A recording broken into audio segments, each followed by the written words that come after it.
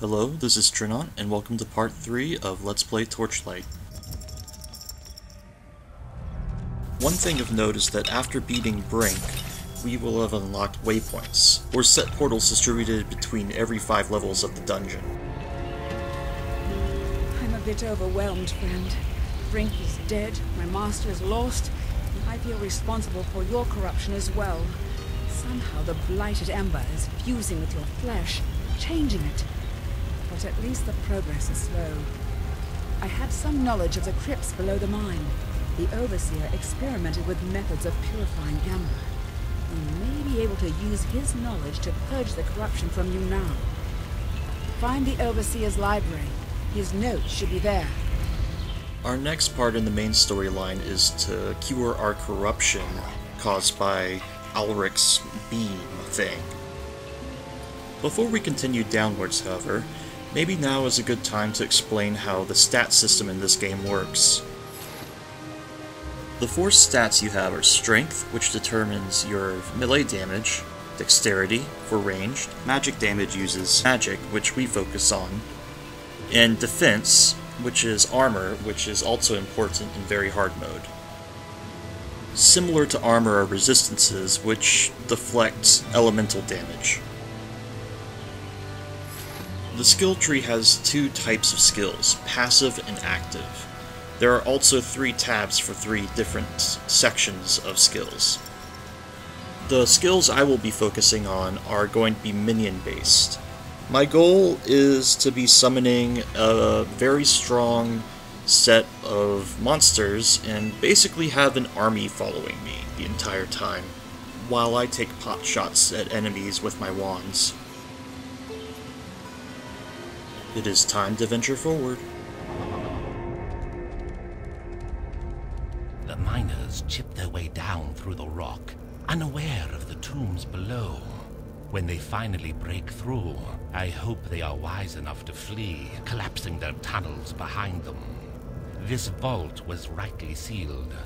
It was an experiment as ill-fated as my own. Their ancestors are animated not with life, but with the same dark energy that flows through the ember veins. Separating out the vileness is impossible. Immortality lies forever beyond our reach. I was a fool to think otherwise. Welcome to the next area of the game, the Tomb of the Awakened. This area is very similar to the side quest we were taken on. A new enemy type to be found here is the Rotted Chanter, who will shoot fireballs and resurrect skeletons. The Rotted Chanter is at its strongest when it has a swarm of skeletons shielding its position. If you see them in a group, it's probably a good idea to take them down first. Your pet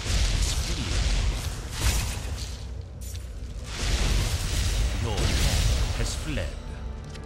The next new enemy type we'll encounter is a Construct. Constructs work very similar to the Rock Trolls. They're big enemies that take a lot of damage, that do knockback attacks, and generally are heavy hitters. Again, my strategy here will be to summon a bunch of minions to fight at my side. Their main goal is to be a meat shield while I deal damage at a distance.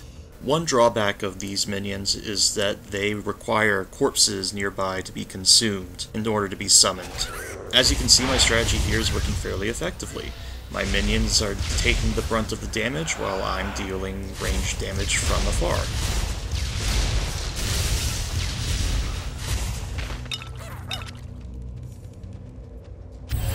By the way, the Ember MacGuffin collecting is still a thing.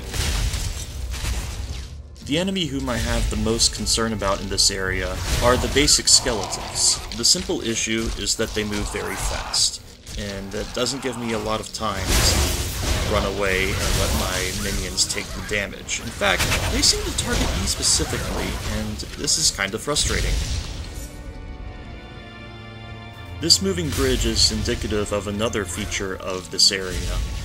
The Tomb of the Awakened uses a lot of lever gimmicks to cross gaps or open portcullis, and so on. Every once in a while you will encounter phase beasts. Phase beasts are creatures that when killed will create a portal leading to a secret level.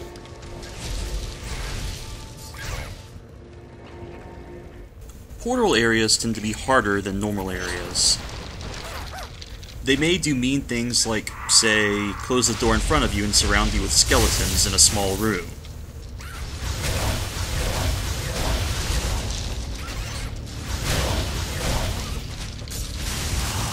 Remember how I said that the trick to staying alive in hard mode is to remember when to heal? I kind of forgot to heal. I'm wounded. Thankfully, dying in Torchlight, except in hardcore mode, is not too much of a problem. Here, I can resurrect at the start of the entrance and only lose a few bit of gold. I could also have decided to resurrect exactly where I stood at the start of the entrance, and have lost experience and fame, or if I didn't want to lose anything, could have resurrected at town and lost nothing, except progress. Did I mention that I hate these skeletons yet? I kind of hate these skeletons. In fact, I was lucky enough to record the sound I made when I died to these skeletons.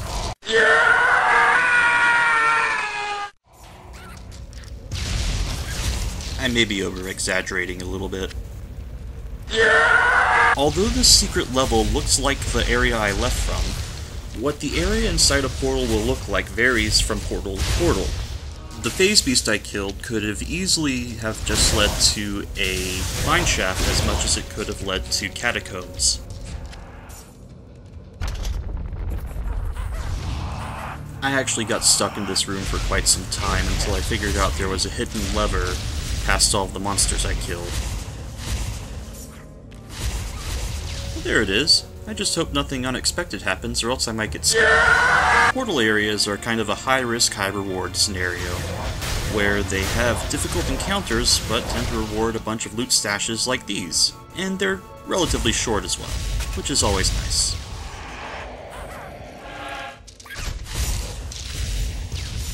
The only problem with the portal areas is that you cannot send your pet back to town, and if you leave the portal area, it closes forever. So make sure you have some inventory space. There are a few things left to attend to before we head down to the next floor. Item rarity is denoted by color. White is common, green is uncommon, blue is rare, and orange is unique. Here I grab a unique mace, my first unique item of the game, and since it's a melee weapon, I have absolutely no use for it. Oh well, I thought I'd show it off anyways. Also, I killed quest monster. Yay. So up till now, the game has been relatively easy, but that's all soon to change as we approach the next bridge, and we will find a huge, terrible, terrifying... Just kidding, we're here. Well, let's head on down. I can't carry anymore. What was that? My pack is full. Shit, you're right. I better hurry up and make an inventory montage. Good day. Hail. Hello there. Hi there.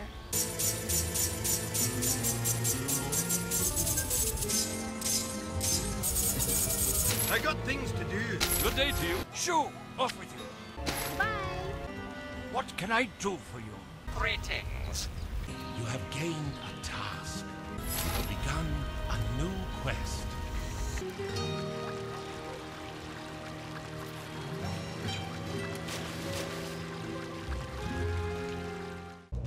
Okay, enough of that, back to the game. Notice in the top right part of the screen that the name of this level is not something like Tomb of the Awakened level 7, but is Lair of the Sisters. That is indicative that we are probably in an area with a boss. Unlike the first boss floor, however, the Lair of the Sisters has a full dungeon in it, including flaming statues, or whatever these are. This area is still very similar to all of the Tomb of the Awakened areas before it, though. It still has skeletons, it still has chanters, still has all of the normal stuff you expect. Oh hey, look, a phase portal!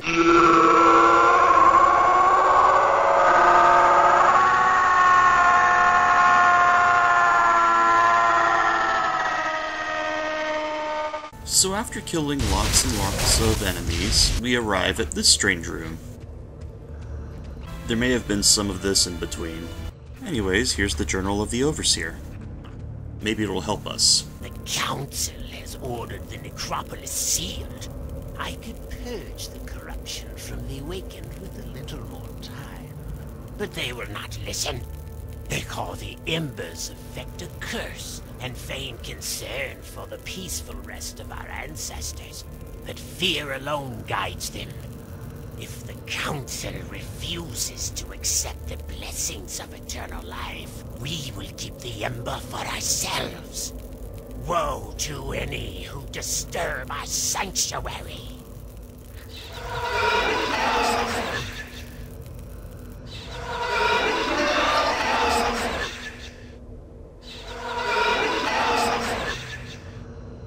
This place is called the Lair of the Sisters for a reason, and that would be these three spectral sisters.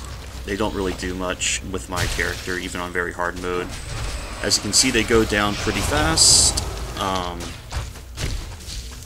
just wander around like I usually do with my characters, and let my minions do all of the work. While there certainly are fights in Torchlight on very hard that are actually hard, this is not one of them. Gained a level. And this was a mini-boss.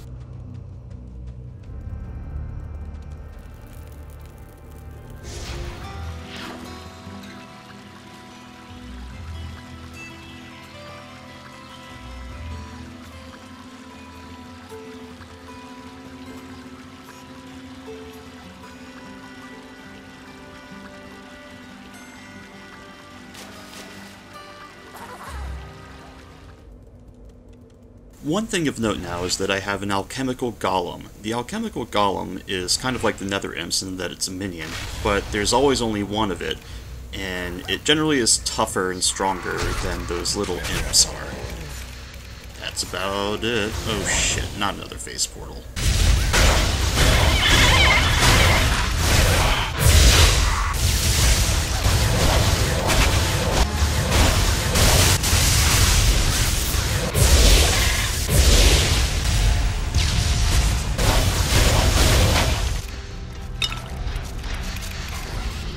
Might be a good time to talk about some of the issues people have with Torchlight. There are two big ones that come to mind.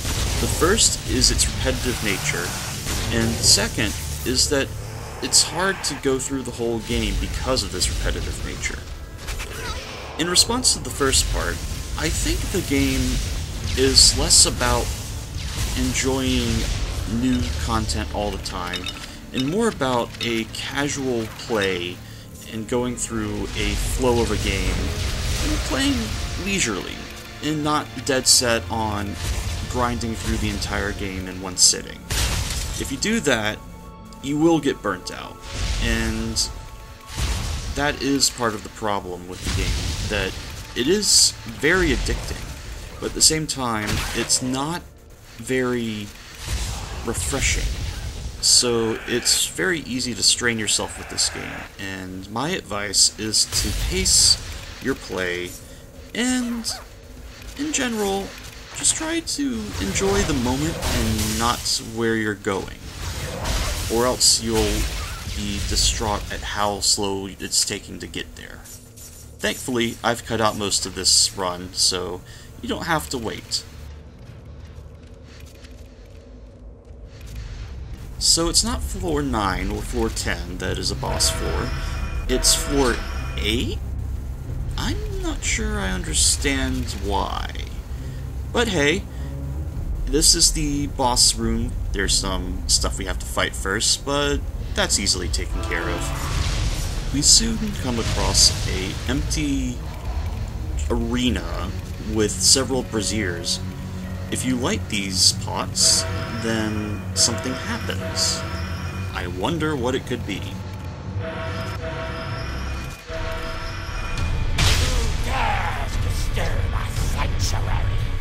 So you know how I said that the mini-boss wasn't that hard? Unfortunately, the Overseer is a little bit more challenging. The main reason is not necessarily because he teleports, not necessarily because he shoots tons of projectiles, but really because he summons hordes and hordes of very fast-moving undead, and this can be quite a challenge to keep them from attacking me in particular. my swarms of friends are kind of short-handed at the moment because a lot of these summoned enemies disappear instead of leaving their corpses behind, which is the primary method I summon creatures. So, other than that, the Overseer is fairly meaty too. Soaks up a lot of damage. And yeah, really the biggest part of this fight is keeping away from the hordes of undead he summons. He's not really much of a fight of himself, but hey, as the alchemist who summons minions of undead himself, who am I to talk?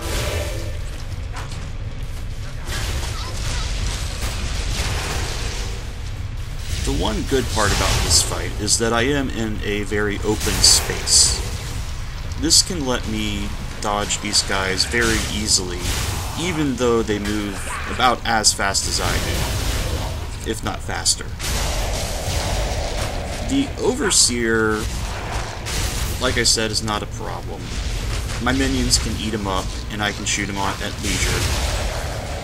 The hordes of undead, as far as dealing with them, it's just a matter of kiting or keep away. And thankfully I picked up a frost missile on the way here, and that can let me slow some of these faster creatures. Yeah, well. Mm -hmm.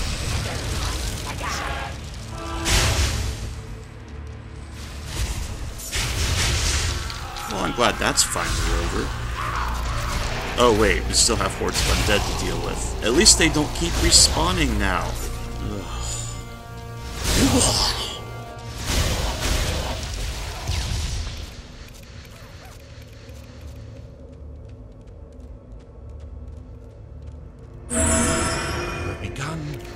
You've the Overseer from his madness. Now we can investigate his library.